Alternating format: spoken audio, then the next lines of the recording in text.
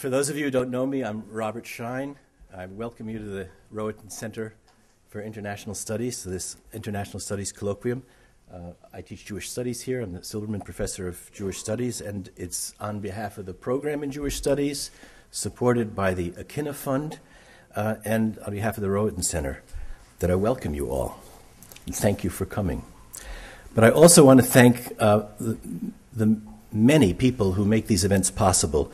Uh, Alison Stanger, the director of the Rohatyn Center, Charlotte Tate, the associate director, who is here, Martha Baldwin, the administrator of the Rohatyn Center, Scott Witt, our tech, uh, Charlotte Barrett, uh, Charlene Barrett, the coordinator of the religion department. Um, all of these people uh, make these events happen, from the posters to the uh, lunch that you're enjoying. Now, this is also the, the first colloquium taking place in the renovated conference room, so the new color, the new carpet, uh, if it feels fresh, there's a reason. It was closed over winter term and, and now is back open for business. So, in the summer of 2005, I visited our Middlebury colleague Ted Sasson and his family at Kibbutz Keturah and saw the Arava Institute for the first time. And I encountered there a remarkable student body uh, Israelis, both Jews and Arabs, uh, some students from the Palestinian territories, from the occupied territories, students from Jordan, Egypt, um, all of whom were gathered there studying environmental policy and environmental science, contemplating careers in education or in civil service, journalism, and all of them seeing uh, from the perspective of Kibbutz Keturah, situated in the Negev, in the desert, in the south of Israel, just a few miles from Jordan on the one side, and not so many more miles from Gaza and Egypt on the other side, um, gaining the perspective that, that though the Middle East may be sliced up politically many different ways, from an ecological perspective, it is one ecosystem. Rabbi Michael Cohen has been involved in the Arava Institute since its inception as a founding faculty member in 1996. And the path leading there started somewhere uh, in his career. He might explain that. Um, but uh, one of the way stations on that career was the University of Vermont, from which he graduated with the History Award uh, and wrote a thesis, an honors thesis, on Lenin's theory of self determination and the Muslims of the Soviet Union. And Rabbi Cohen just told me when we were uh, speaking before that he was very aware of studying the problem of minorities and nationalism, uh, seeking insight, insight on the situation in the Middle East by studying it obliquely through the position of Muslims in the Soviet Union under Lenin. He then went on to rabbinical studies and was ordained at the Reconstructionist Rabbinical College in 1990 and was rabbi of the Israel congregation in Manchester, Vermont from 1990 to 2000. He also served as the president of the Reconstructionist Rabbinical Association, a position that's also been held by our Rabbi Ira Schiffer. And it was, um, so we have former presidents here, that's always elite company. The president's lunch today. Yes. Uh, it was on, while, while on sabbatical from the congregation in Manchester that, uh, that he taught at the Arava Institute and he returned to the Arava Institute in the year 2000. From 2001 to 2006, he served as the executive director of the Arava Institute North America, and in 2002 co founded the Zionist Green Alliance, which was the first environmental Zionist party to be represented at the World Jewish Congress. At the Arava Institute, he's also worked on Palestinian student recruitment, on development, uh, on other projects, and taught two courses. One of them Genesis as a key to environmental thought, and another, Moses, a study of leadership and environmental wisdom. At present, he's the director of special projects for the Friends of the Arava Institute. He's written a number of, number of articles and also a novel just recently published titled Einstein's Rabbi A Tale of Science and the Soul. Aside from caring about the environment in the Middle East, He also sits on the Energy and Tree Committee of the town of Manchester, Vermont. I wanted to mention before we begin that uh, those of you who are interested in a possible semester at the Arava Institute will have an opportunity to talk with Rabbi Cohen after the talk. Um, we, you, those of you who know the routine here know that we're informal. You should feel free to get coffee during the talk. We'll, we will conclude promptly at 1.30, and we have a small clock here to remind us. I know there's a concern that rabbis talk too much, but or too long, but yes. In fact, at one of the first lectures in Jewish studies given here by Rabbi Arthur Hertzberg in 1988, he started his talk by announcing that he would speak for 40 minutes. And he said, I tell you that so that you know that my words, though, uh, though eternal, uh, though immortal, will not be eternal. so we're at a time, it seems, when environmental issues in the Middle East are obscured by political conflict. Um, for instance, in Israel on Tuesday, the one party that ran on an issue of environmental, on an environmental platform, pulled less than 2% under the threshold for parliamentary representation. At a time when the, when the chasm separating our present from some future of peace seems only to widen, we look forward to a talk entitled Environment as a Bridge to Peace in the Middle East.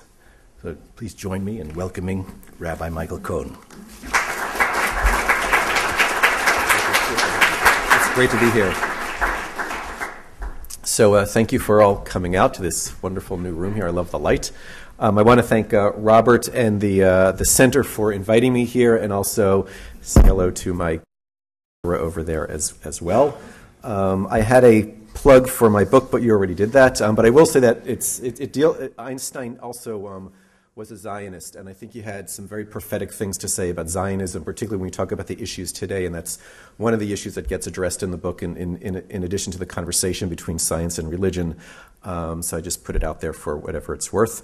Um, also, Tom Benson, which I think a number of you know, the former president of Green Mountain College, and now working with the World Education Corps, is on our board here in the United States. And I know that the World Education Corps is working on joint programs here at Middlebury College um, as well.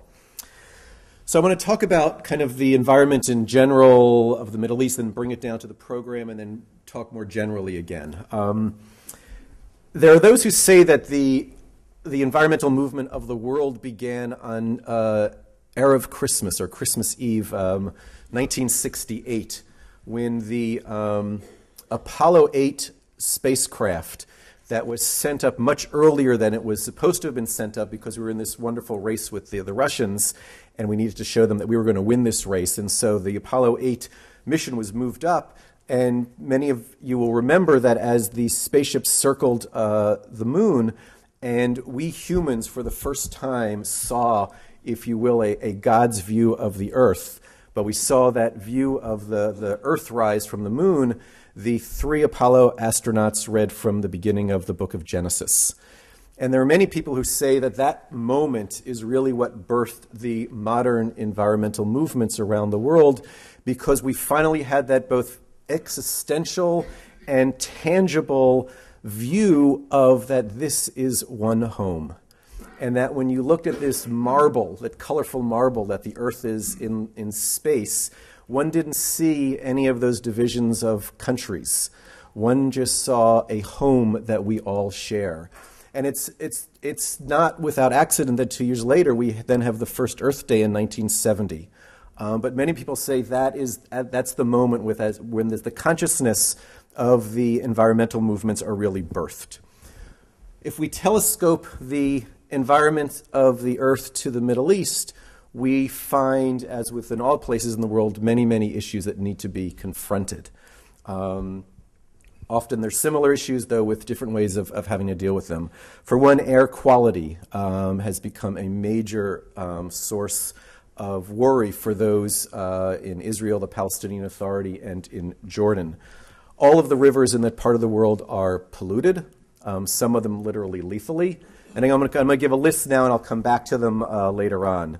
Um, clean water, enough water um, in that part of the world is an acute problem and a growing problem.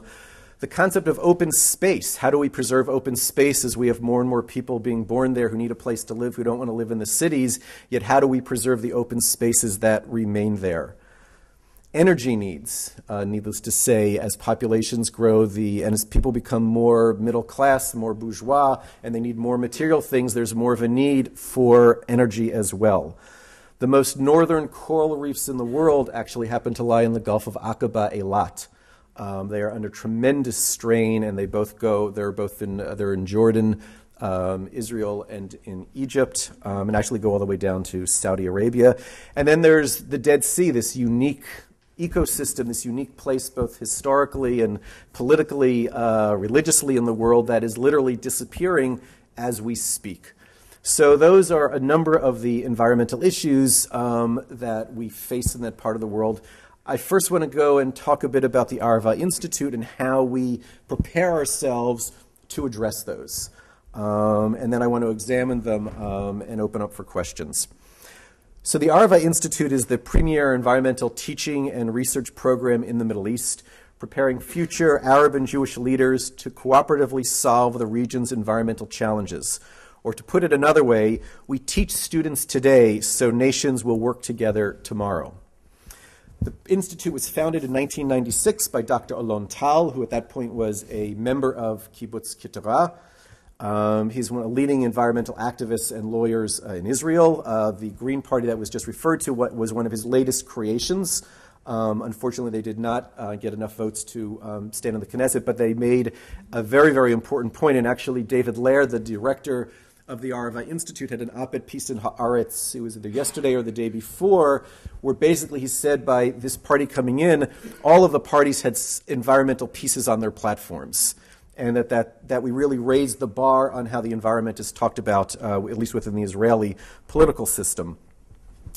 So, in the wake of the Israel Jordan peace treaty in 1994, and at that point still the Oslo peace process, Dr. Tal felt it was imperative that there needed to be a regional center in the Middle East where Israelis and her Arab neighbors could come together and be given both the personal connections and the professional training to go on and become environmental leaders in that part of the world. That is, the raison d'etre of the Institute is, is that there will be a cadre of future um, environmental leaders. Our dream is that at one point, the, uh, in the future, the Minister of the Environment for Israel, the Palestinian Authority, and Jordan will all be graduates of the program, and that they will know each other, so it'll be much more easy for them to talk to themselves, not just as professionals, but they'll have a personal relationship as well. To do this, we bring together a very, very mixed student body that is one ideally, and it fluctuates depending on politics and, and other, other variables. Ideally, it's uh, one third Jewish one third Arab, meaning Israeli Arab, Palestinian, Jordanian. We've had some Egyptian and Tunisian, but mostly Palestinian and Jordanian. And then one third the rest of the world. The majority from um, North America. And you should know Vermont is colleges have been very, very active part of this. The University of Vermont has sent us more students than any other university in the United States, and we're finalizing now where the time that students from UVM study at Arava will be a minor on their transcript, they also have a diversity requirement at the University of Vermont, and this will count towards the diversity requirement um, as well. But we've had students also from Middlebury attend, from Green Mountain College, from Bennington. We've had a number of our students come back to Vermont and study at the Vermont Law School because of their great environmental law work that they do there, and also at SIT in Brattleboro. So we've got this wonderful connection between various um, Vermont academic institutions. I, we would love to see more students from Middlebury come on the program, and so I see a number of you are here, and I would be more than happy to talk to you about studying um, with us. In addition, the Vermont congressional delegation has really been a lifesaver for us, particularly Senator Leahy, who, as you know, sits on the uh, is the chair of the Foreign Appropriations Committee um, and helped establish the Office of Conflict Management and Mitigation at USAID. We've gotten a number of grants through that office through the efforts of Senator Leahy, and the first one we actually got saved the program. It was shortly after the uh, second intifada, and things had literally dried up. And had we not gotten that grant, we would have probably have closed shop. And so we are really greatly indebted to, to the senator who has visited our students in Israel. Many of the students uh, visit him uh, when they're in Washington. In addition, um, then Congressman Sanders, now Senator Sanders, wrote the Israel Arab Peace Partners Program, of which we got four grants for, where we bring our students to the United States. They go to Washington for a couple of days, learn about the relationship of the environment to government. Um, and then they do environmental internships around the United States. One of the summers, all those students were actually in Burlington, Vermont, doing environmental internships there. Um, so Senator Sanders has been a longtime supporter of ours as well, as was um, Senator Jeffords also when he was a senator, and Congressman Welch, um, though he's you know only a little over into his beginning of his second term, met with our students um, in Jerusalem with Senator Leahy a year ago in May, and I've met with him a number of times, and also is a great champion of ours. So we are really, really blessed um, that we have these great connections with both the Vermont Education Institutes as well as the Vermont Congressional uh, Delegation. We're accredited through Ben Gurion University, and we have uh, an undergraduate track and a, uh, a, master's track. We have a summer program that's four weeks. That's a four credit course. That's kind of the highlights of the year. And then we have your classic fall and or spring semester. You can do one or both of them on the undergraduate level, and the credit would transfer, in this case, back to Middlebury College. And we also have a two-year master's program where you do a year at our, at our campus on, at Kibbutz Keturah, and then you do the second year at the Boker Research Center of Ben Gurion University, and you get a master's degree from Ben Gurion University. Typically, students take five classes a semester in environmental policy, in social and cultural issues, in environmental sciences. Um, there's an interdisciplinary class that everybody takes. One semester it's in water management, and one semester it's in desert issues. And then there's an independent study that everyone takes, and that's all over the place in terms of the possibilities. Um, half a billion birds, literally twice a year, fly over the kibbutz on their way from Africa to Europe, Asia, and then six months later they come back. Um, so students um, do research there, and it's actually pretty amazing. You'll, some, you'll go out of the office one day and you'll see literally hundreds of cranes in a circle catching a thermal as they to go up and then hit the, the turnpike going north or south, depending on which season it is. As I mentioned, the coral reefs uh, in Eilat Aqaba, the most northern coral reefs in the world, there's a lot of research there. We do what's called mud building because there's not a lot of rain uh, in that part of the world. You can take straw bales of hay you can then cover it with mud, paint linseed over it, and you have a structure.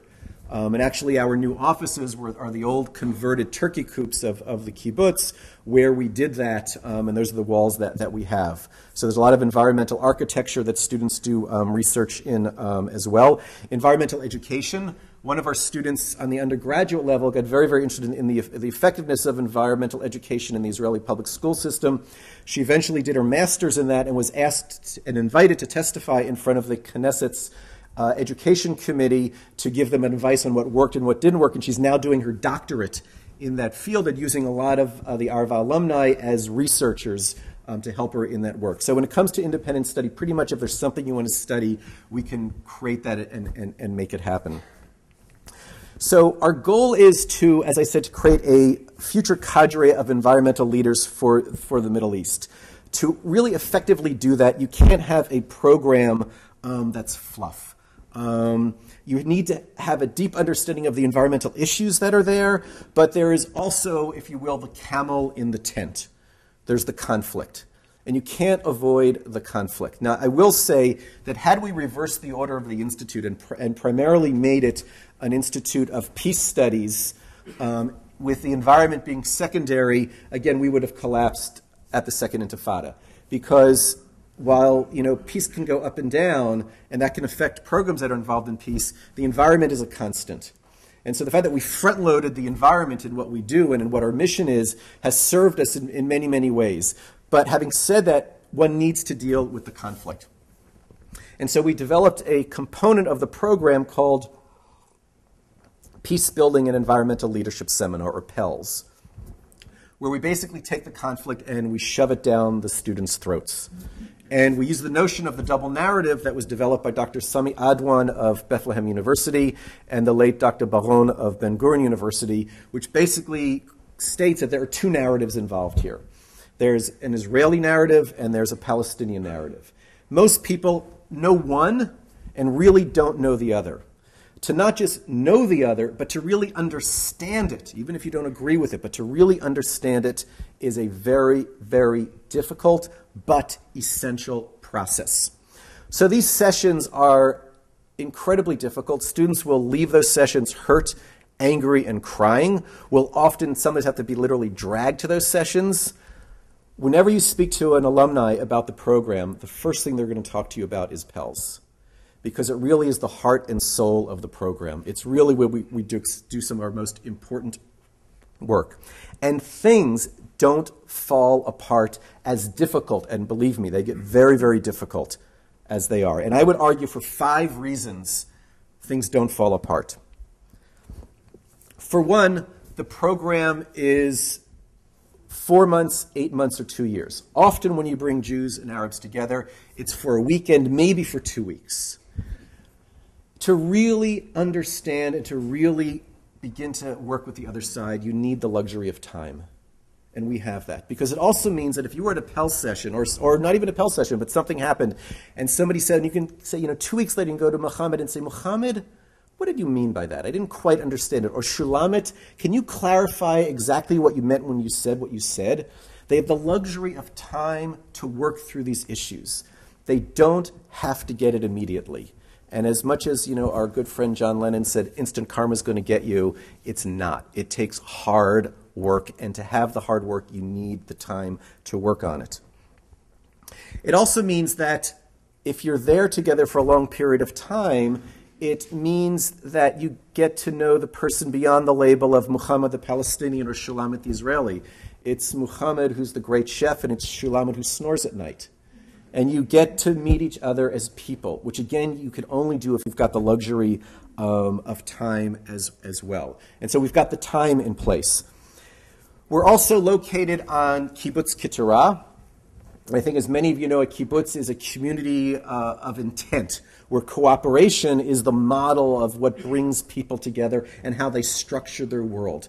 So, on the micro level, the students are coming into a community that understands cooperation that has real implications on the macro level when it comes to peace and the environment as well. There's also so there's a wonderful interplay of having the program on, on the kibbutz. The students eat in the communal dining room. By the way, we do your laundry also in the communal laundry. You have to do your laundry when you're there. Um, Students can be adopted by kibbutz families if they like. And, and this particular kibbutz actually won the Knesset Speakers Prize some 15, 16 years ago for tolerance and pluralism. Israel is a very, very segregated society, not just between Arabs and Jews, but even within, with, within Jews and other communities. Um, so you have both religious and non religious Jews living intentionally together on this kibbutz.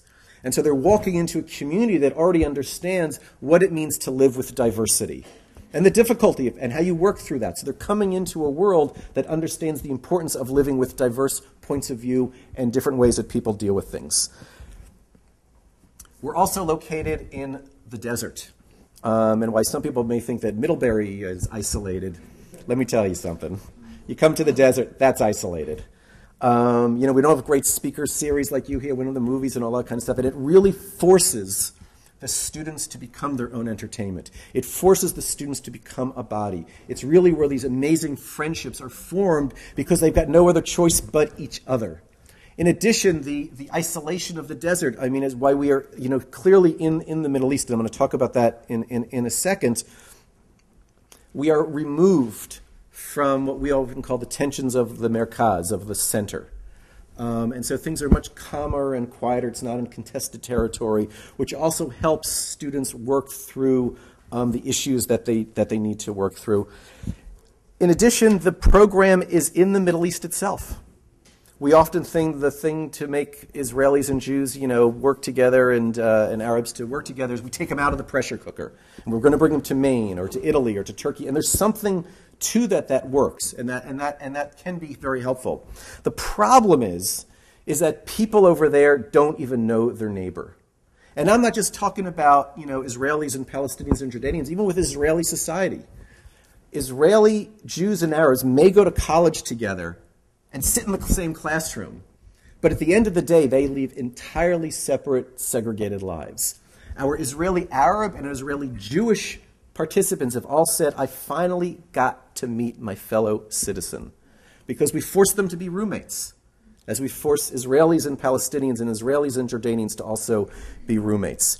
And so they have the opportunity to learn about the milieu of that part of the world, about their own neighbors. Um, if, for example, your Jordanian roommate's sister is getting married in Amman, not only do you go to the wedding, but the entire program goes to the wedding. It means on weekends that you can then take your Jordanian roommate up to Kibbutz Tirat. And so people get to learn about that part of the world, which they really don't even know each other there. For those of you in this room, why it's so important, why we have one third of the student body not being from the Middle East, there's a certain level of um, being the outsider that can help in the dynamics of those students from the Middle East when they're there. But even more important, our engagement with the Middle East has been going on for decades, if not centuries. And we know so little bit about that part of the world, and we need to learn so much more. And there's only so much you can learn, whether it's at Middlebury or Harvard or UVM in the classroom here. You need to go there and learn about that part of the world. I remember after 9 11, there was this appalling statistic of the number of Arab majors graduating from U.S. universities. And I know that Middlebury certainly does you know, much better at that than most places. But we need to learn about that part of the world. In addition, they need to learn more about us. And when students from North America, and particularly the United States, go to a program like that, you become an ambassador for this culture because they also have a very skewed view of what this place is all about by what they see on the television as well. And they can very easily fall into the traps of the stereotypes of what we are as Americans. And so you play a, a, a, role of both learning about that part of the world as also being a messenger about what this part of the world has to offer. And so the students who are not from the Middle East play a very, very crucial role as well.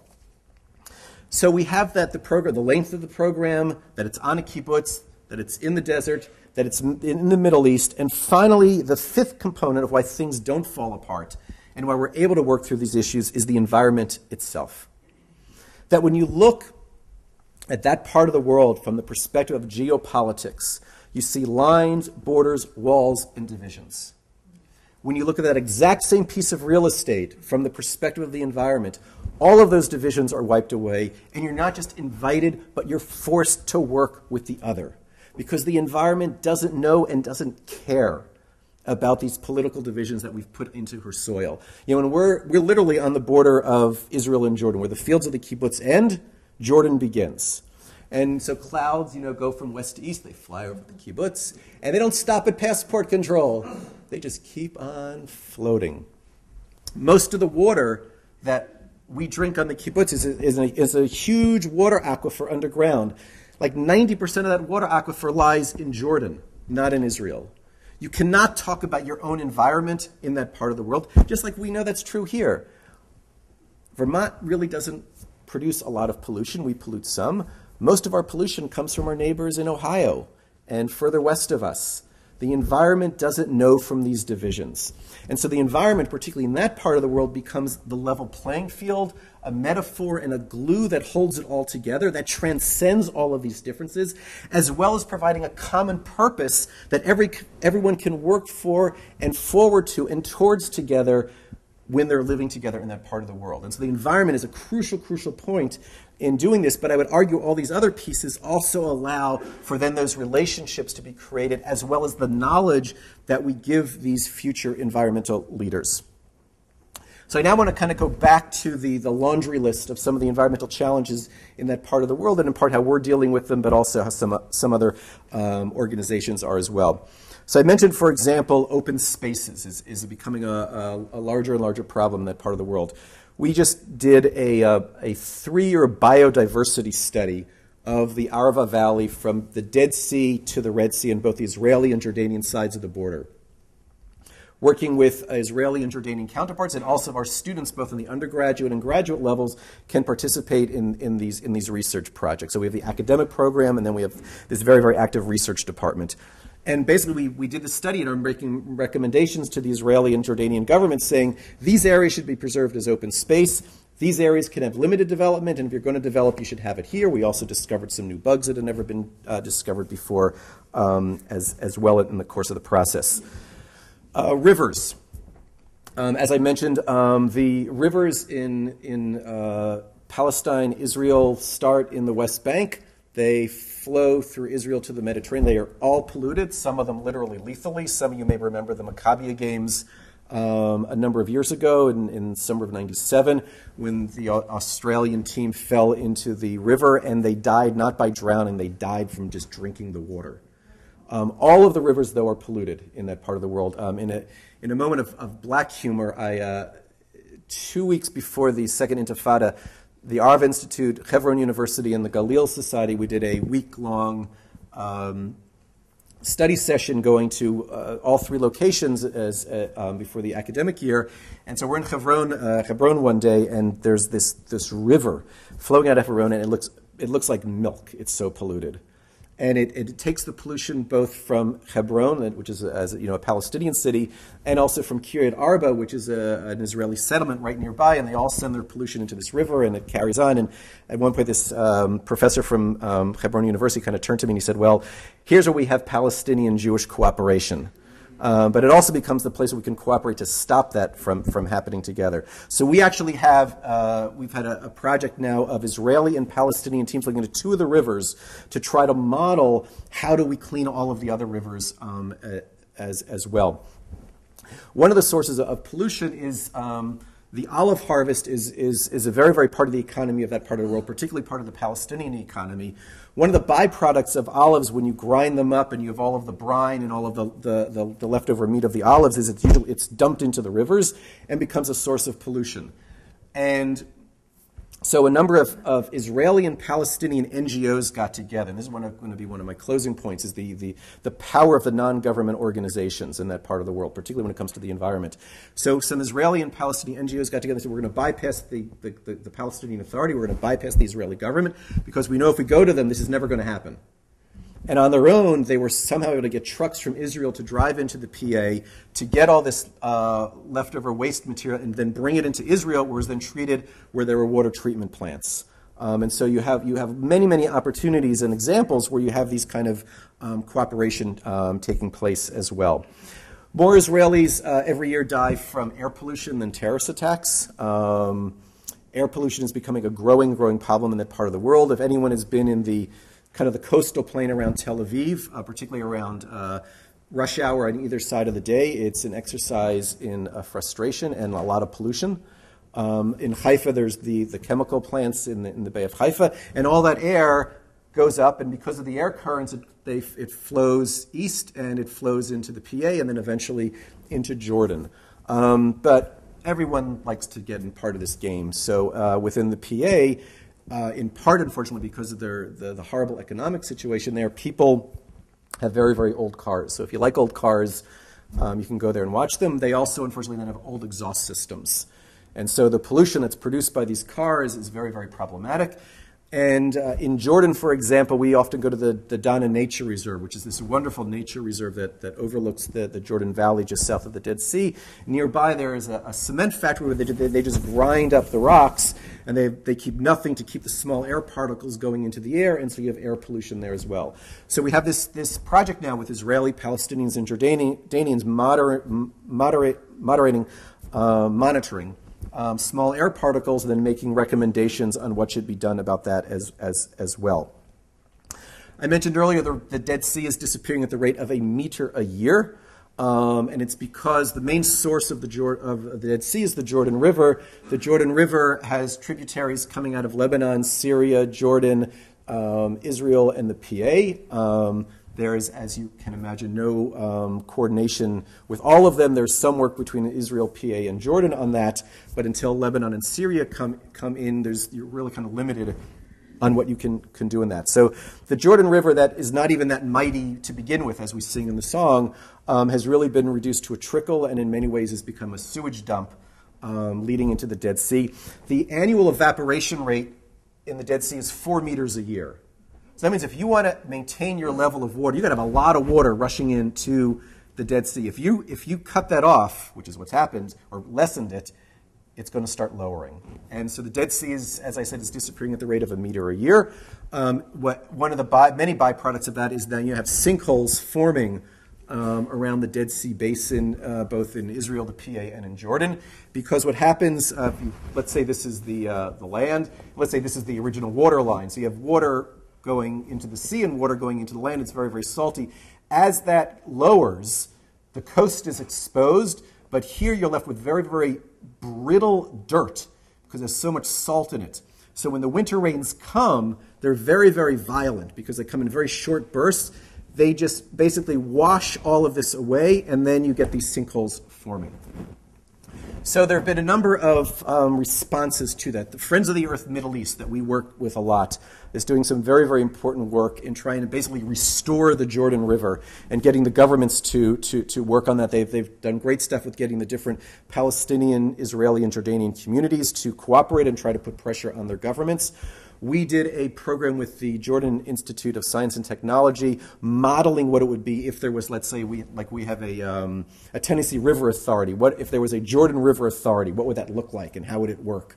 Um, and so we, and one of the, we do a lot of environmental touring as part of our part of the, the, the program at Arava, and one of them is actually we go up on the Jordanian side of the Jordan River, and then we cross over and we go down the Israeli Palestinian side of the Jordan River and, and, look at both the similarities and dissimilarities of the challenges of, of, of, the Jordan River. So, restoring the Jordan River is one way to deal with the Dead Sea. Years ago, there was talk of the Med Dead Canal. You build a canal from the Mediterranean to the, to the Dead Sea problematic. It goes through mountains. It goes through a lot of the Palestinian Authority. It was stopped. Now the new talk is of the Red Dead Canal, where you build a canal from the Red Sea to the Dead Sea. Um, because the Dead Sea is, you know, is the lowest point on Earth, the water will flow. At the bottom there, you can have turbines that will produce energy, that will operate a desalination plant. The fresh water will go up to Amman, the salty water will go into the Dead Sea, and there'll be world peace.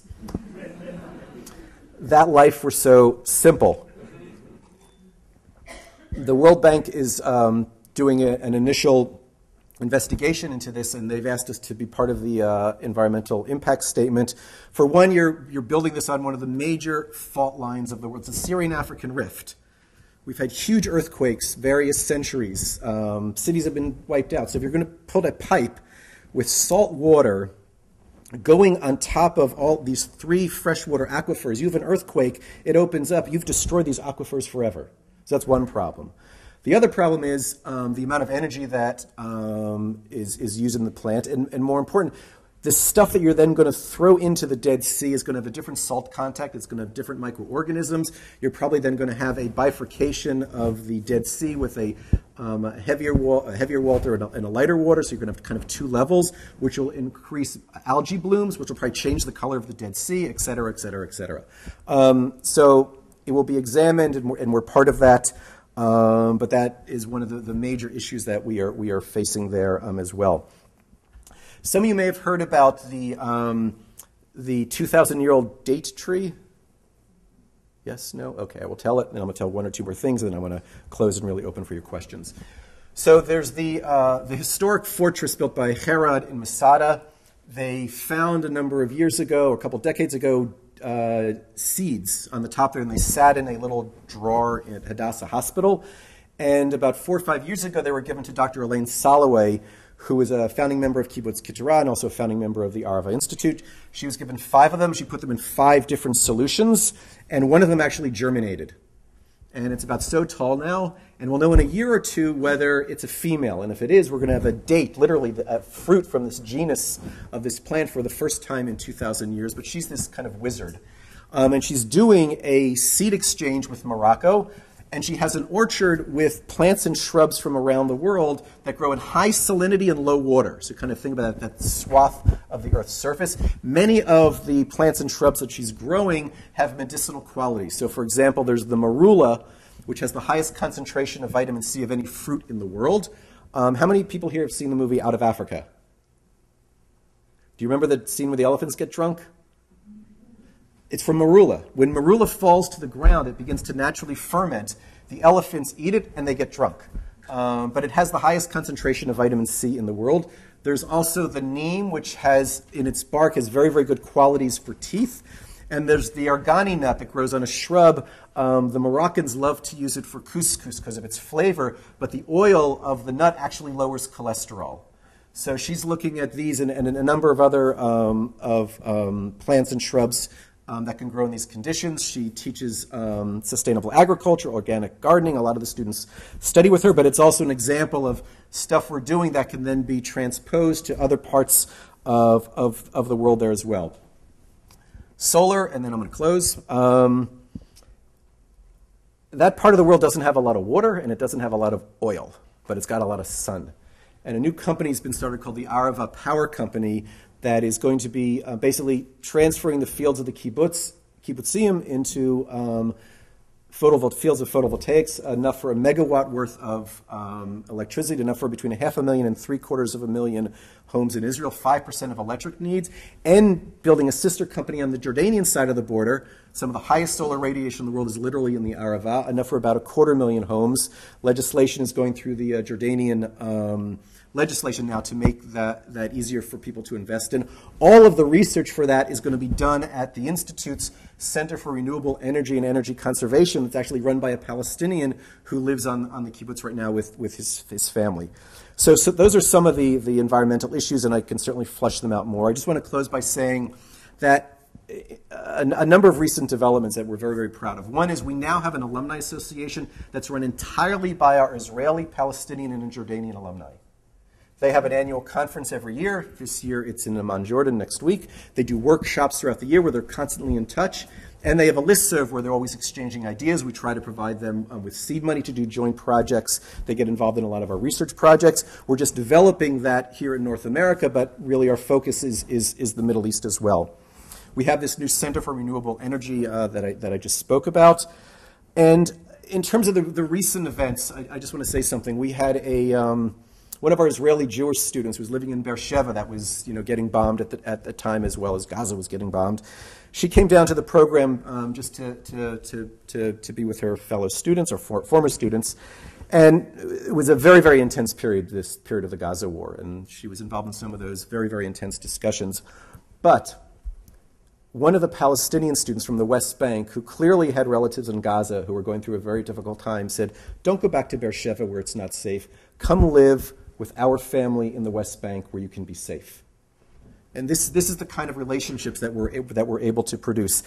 Something that wasn't in the news was uh, about three weeks ago, 100 Palestinian, Jordanians, and Israelis met on the Dead Sea to have a conclave about peace. It was so successful that they're doing another one next week. And part of what I want to close with of the, the ebb and flow of diplomacy, the ups and downs of violence, A, the environment is a constant, but also these Palestinian, Israeli, and Jordanian non government organizations are a constant who have already figured out how to work past and through the conflict, have created the models of what that part of the world can look like. And I really hope that when our new president goes to the Middle East, or when I understand Senator, the, not Senator anymore, Secretary of State Clinton is going at the beginning of March, or when Special Envoy Mitchell goes, that they meet with the political leaders, but they also need to meet with the NGOs because these NGOs not only providing a model of what is possible, they will strengthen the vast majority of Israelis and Palestinians who want peace to happen, but then look around and say, What am I crazy? In part because that's not what makes the newspapers. By them making those visits, by raising the visibility of what is possible, it can really change the landscape of what we can do in, the, in that part of the world. So, thank you for having me, and I'm happy to take questions.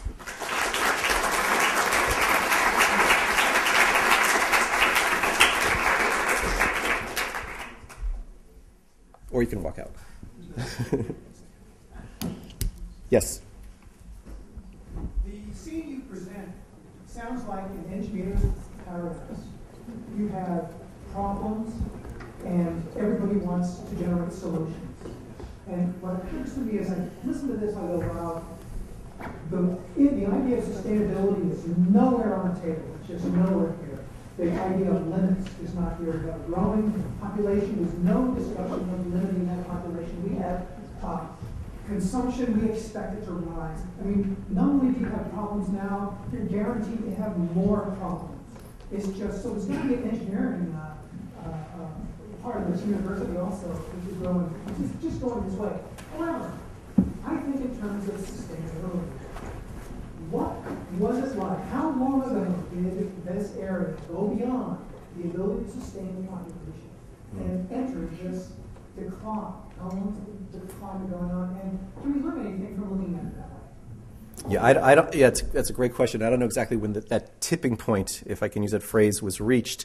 Let me let me say one thing and then go back to that. Is there's kind of a, a counterintuitive notion. I want to say three things. One is the whole issue of you know population is the great taboo, both religiously and nationalistically, that you just can't talk about.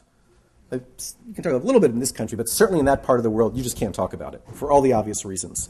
But here's the, the kind of counterintuitive piece that's kind of interesting, and I'm, I, just to think about. One is that a, and this is, this, is, this is not a hard fact, but you'll understand the example I'm giving, that a poor family of 11, their environmental impact footprint on Mother Earth is smaller than a middle class family of four. And so we often think, well, if we get smaller families, then we're going to have a smaller environmental impact. Yes, but the caveat is what kind of family is it? What are they going to do in their homes? What are, are they going to want to just, you know, redo what we've done? And so that's one of the great challenges, this whole notion of reducing or simplifying. One of the things that I love about living on, on kibbutz is this is a community of 135 adults, 140 kids, another 100 people like me. And so they have 135 members and they have about 11 cars. And it works. There's a sign up sheet. You, every week that it goes up. If you know it weeks in advance, you put a little note in the thing. The guy sets up the schedule, and it works. It's not perfect, but there's always someone having a ride, and there's a public transportation there as well. So there's a model. I mean, I guess these new zip cars are a, you know, a way of looking at that. But you know, people keep saying that you know we're going to have to change our lifestyles drastically. I'm not so sure it needs to be so dramatic, but it just needs to be more. We need to be more conscious of how we do things and how we like. How why does everybody on my street have a lawnmower? Like, why don't we? You know, I even got there's one of those in Vergennes that's you know completely you know it's a battery powered one, so I feel a bit better about it. But why why don't why don't we share our lawnmowers? You know, every ten houses there should be one lawnmower. So that's that's part of the answer. I, I don't even want to guess on where when that tipping point was. I'm more the theologian than the scientist here. So, but but but it doesn't mean that we can't still deal with that question. I mean, Singapore, I guess, has a much um, denser population than that part of the world, and they seem to be doing well. Um, obviously, they have different and easier challenges than, than, than we do. Yeah. Is that one of the questions that you shove down your students' throats that they can discuss? And I'm also wondering, since you say, you know, obviously it depends on the footprint that you create, but if you're talking about sewage problems and water problems, no matter how someone is living, they're still going to produce the same amount of sewage and require the same amount of water. I mean, there are certain um, certain constants. Well, um, one is we, we pretty much we shove the conflict down their throats, but but that but in the class the other classes I mentioned the issue of population does come up and we and we do address it there. I'm talking about more on kind of the, the grander scale in terms of the cultures there on uh, on on mass. You really can't talk about that. In terms of you know water, I mean there are ways of how you design houses on how much water you are going to need. And you can build smarter and still live well and not use as, and produce as much water or recycle it. I mean, there's a whole use of gray water and black water, and, and you recycle that. So there are ways of doing it smarter where you can actually reduce the amount that, that is being produced. But so are you saying that a given that the population is going to continue to increase, and from your point of view, your, job is to respond to that increase? Um, unless we kill each ourselves off, I fear for certainly the next couple of decades, I don't see that line getting much slower. Uh, I could be, listen, there's so many variables in this world and life. You never know when things are going to happen. But this stage of the game, it looks like it's going to keep going like that. And we need to adjust accordingly. It would be nice if it went like this. I don't see that happening there. And I don't see that happening in lots of parts of the world either, not just in that part of the world. It's a, it's a great challenge that, that, that we face. Yeah, oh, yeah. Oh, thanks. Yeah. Yes. Have any of your students considered um, coupling with travel industries, you know, that are doing these tours to the Holy, Holy Land to raise consciousness that way about the environmental conditions of the Middle East? Yeah, a, that's a great question. We, I mean, I know some of our students get involved in ecotourism, but I don't know where they've wedded kind of tours to the Holy Land to that. And I think there's a great opening there, particularly the evangelical churches have really embraced the environment as an issue. Um, and that's actually that's a that's a great point that I will take back with me to the alumni. That's a that's a wonderful point. Thank you, student. Yeah. I was wondering, you said you're more of a theologian than a scientist, so I was wondering in kind of, I know there's a little bit of a grassroots, grassroots movement in Judaism of how to kind of approach the through Jewish texts and perspective. I was wondering if there's also that movement or the possibility for that movement um, in the Muslim and Christian traditions, and then also if you use the kind of religious uh, framework to tackle joint problems that we talked about. So you know, you know, as I said, you know, post this post this photo of the Earth, and then Earth Day, and then there was a famous article by Lynn White where Lynn White basically blamed all of the environmental problems on the Judeo-Christian um, view of of the world. Um, and that really got a lot of Jews and Christians' backs kind of riled. That, in some ways, it was great because then there was this great response, and Jews and Christians started going back, and really, it was the birthing of both the Christian and the Jewish environmental movements. In Islam, there is also that movement. It's, it's a couple of decades behind, but it's beginning to gain steam as well and, and recognition. Um, and so that I think will become also a growing force in, in, in, how this is this is dealt with. At the institute, we, we, you know we certainly will bring this in as a piece of the puzzle. Our approach is really interdisciplinary. So we look at the environment and solving the environment from you know whether it's religious, from economic, from political, from sociological, and we just put it all into the mix. Because just like the environment is diverse, and the best way to understand the, the environment is to understand the diversity of the environment. It's the same thing with issues of human beings as, as well. Other questions? Yes. Uh, to what extent do the political differences and conflicts interfere with your projects? In terms of the research projects, it becomes often the issue of crossing borders, which often is more of a problem for um, Jordanians and Palestinians coming into Israel um, because of the whole permitting system that they need permits to come in. Um, and so we, and one of, when I was doing Palestinian recruitment, I, one of the, this is one of the things that I had to deal, deal with, and actually I had formed a, um, a coalition of, at that point, U.S. Ambassador Jones to Israel, some members of the Knesset, including uh, Yuri Stern, who was the founder of Yisrael Beitenu, which you all know from the recent elections is this very, very right wing um, nationalistic party uh, in Israel. They were our greatest supporters in the Knesset, even though we were dealing with Palestinians as well, because they understand the importance of the environment. And this is one of the things about the issues of the environment. At the end of the day, people may disagree on where the final line should be, but people understand that the environment doesn't care and that it needs to be, needs to be dealt with. Um, long story short, we didn't get anywhere in getting Palestinian student permits that year. We eventually went to the Israeli Supreme Court, and they overturned the ban, and that's how we started getting Palestinians again two, two years ago. Um, and so when it comes to research, we often deal with, with these, these problems um, as, as well. And then when there's troubles, Israelis aren't allowed to go into the West Bank. Certainly Israelis can't go into Gaza right now. And so those are, those, those are not so much, we don't have problems in terms of the government supporting what we do. It's more kind of the raw, you know, day-to-day stuff on the ground that, be, that often becomes the, the, the blockages that we have to work through or work around as we sometimes learn to do. Yeah. Where do you get your funding? from anyone in the audience. Um, we get a lot of our funding from the U.S. government, as I mentioned earlier, through uh, these grants uh, from USAID, the Office of Conflict Management and Mitigation. You know, Senator Leahy has helped us with. There's also a, another branch of USAID called Middle East Regional Cooperation Grants, or MERC grants. A lot of the cross-border research I talked to you about has been funded through MERC. Um, we've also gotten funding through NATO. We've gotten funding from the European Union. We go to, you know, family foundations. We go to public foundations. Every year we do a bike ride event from uh, um, Jerusalem to Eilat. It is a great way to see the country. It raises a considerable amount of money for us um, as well, and we have our students along the way giving environmental lectures. You know, small, uh, we have individuals. Mandy Patinkin is on our board. He's done some concerts for us. Susan Silverman did a benefit for us this past year.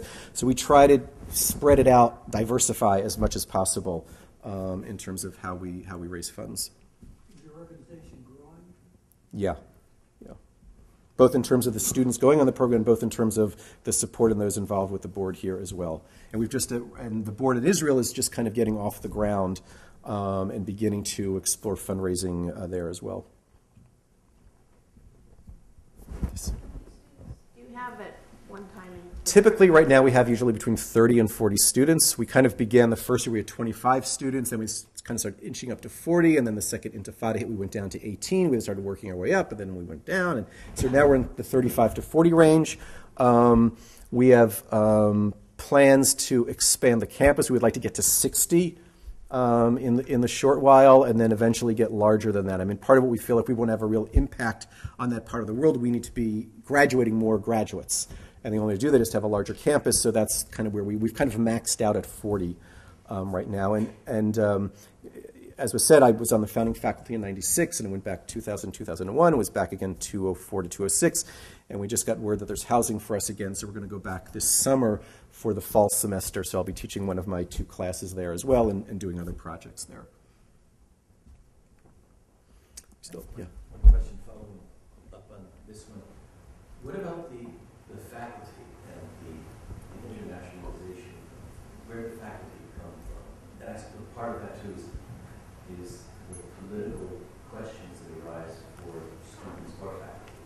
I recall when I was there, there was a story about a student, I think from Jordan, who, uh, whenever he had calls from friends or home, answering his cell phone in the negative, said he was in Cairo on an extended stay because he was. It, it would have been a dicey thing for him to say he was studying in Israel. So how does Right. that affect? So let me let me first do students, then I'll go to the faculty. So um, in terms of the the students, it's interesting that the when Palestinians want to come to study with us, they really don't feel any pressure from friends or family because as bad as the relations are between Israeli and Palestinians, it's a known entity, it's a known quantity. On some level, I'm saying we've got to figure this out. With Jordanians, it's, it's, it's much more difficult. Um, most of the Jordanians, when they decide to come on the program, um, first of all, we advertise, we put an ad out in the paper. It says, come study in the Arava Valley. It doesn't say where. People call a phone number. They eventually find it's in Israel. They self select out, et cetera, et cetera. Um, many of the Jordanians will be under fierce pressure from their parents, their family members, relatives, and friends not to go. They're told, listen, if you have a Jewish roommate, you're going to be stabbed at night in the back, and you're, you know, they, they literally fear for their lives. So these are very, very brave individuals who come, um, and they will often go back and change the perceptions of those very same family members and friends. Um, and I could give you story after story of where that took place, including one of our Jordanians who basically brought his six Israeli and American Jewish friends back to his home one weekend and introduced them to his parents and then left the room and said, You guys deal with it. He called it, he called it shock therapy. And he came back, and at the end, of course, they're all talking and getting along really well. And then when they left, his mother said something very perceptive. Says, You know, because these were all Jews who he had brought, he said, I found I was more connected to the Israelis than the Americans. And it was like, yeah. Um, and those are the kind of kind of dynamics that can happen. Unfortunately, many of the Jordanians are also blacklisted when they go back. And, and, and it's, um, while the Jordanian government supports the process, and uh, the Jordanian ambassador, Prince Zeid, has been, become a very good friend and advocate for us. And, you know, on, on that strata of, these, of the Jordanian government, there's great support for this kind of work. In the street, it's very, very problematic. Um, and until the conflict is, so- is solved, it's going to continue to be problematic. In Egypt, it is, as they call it, the cold peace. I mean, there we know even the Egyptian government puts pressure on students not to come on the program. We've had Egyptians, we had two the first year, and we haven't had Egyptians since then. We've had two recently who wanted to come, and they just got, they were too scared, not because of their family and friends who encouraged them to go, but because of the government officials. Um, and that's the reality of that, that part of the world, but you still keep pushing forward. When it comes to faculty members, um, kind of concentric circles. We have some faculty members who live full time in the kibbutz. Most of the staff are, are, are kibbutz members. Um, we then have a number of faculty members from the region because we do a lot of study of the of the Arava Valley. So have people live on other kibbutzim. Um, Israel is a very small country, and the flight from you know Tel Aviv to Eilat is 45 minutes. So teachers will commute from the north down. They'll either stay for a day, they might stay for a day or two. Um, We've really been trying to work on getting, um, like I said, we have we've Tariq who runs the Center for Renewable Energy is a Palestinian. Uh, we have another Arab faculty member. We're trying to increase the number of Arab faculty members. We're trying to increase the number of women faculty members. Um, we usually have a slot open for visiting faculty members from, from overseas as well. Um, and so that's kind of the, the mix that we do there, and it's, it's still a work in progress. Yeah. Esperanto. I love that question. No, it's. I mean, for better and worse, English. It's English because English, for better and for worse, is really the lingua franca of the world these days.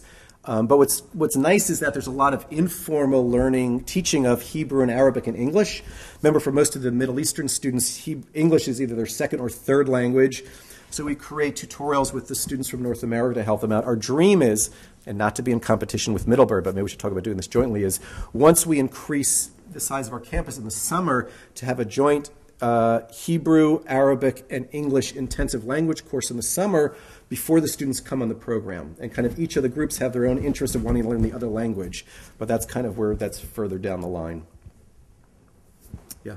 Your categorization of students, was interesting, because you're categorizing as Jews, Arabs, and others. Uh huh. Do you ever get students from the non-Arab Islamic world? Uh, you know, Malaysia, Indonesia, Pakistan, Bangladesh? We-.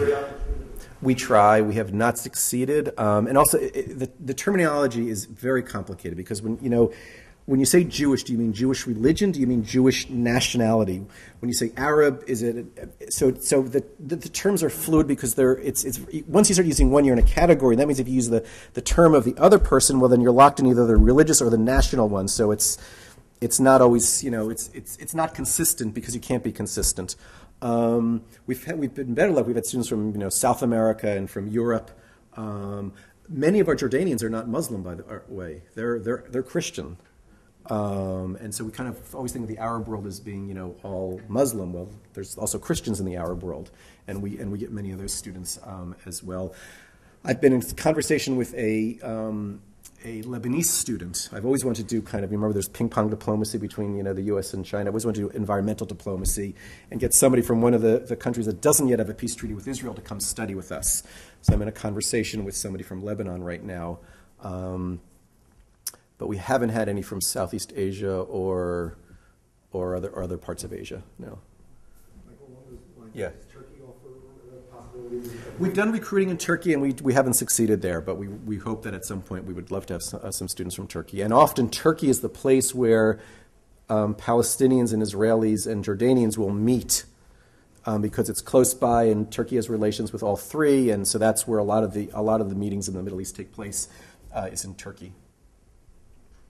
Yeah. I'd like to ask about the aquifer, what's happening to it? Um, it's well, it depends on which one. There's lots of there's the mountain aquifer that is basically most of it's under the West Bank um, that Israel takes. And here's an interesting question: the majority of the aquifer is in the West Bank. The water percolates though out in Israel, and so there's a whole debate on then who should own it.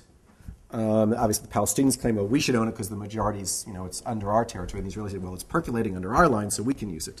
Um, and this goes, this goes, this goes back and forth. But all the water aquifers, on some level, are, are if they're not being overused, they are on, on schedule to be overused because of the amount of people over there and the amount and how we live our lives and, and so on and so forth. I mean, there is, you know, there's been some, you know, better work in terms of using gray water and black water and recycling water and drip irrigation.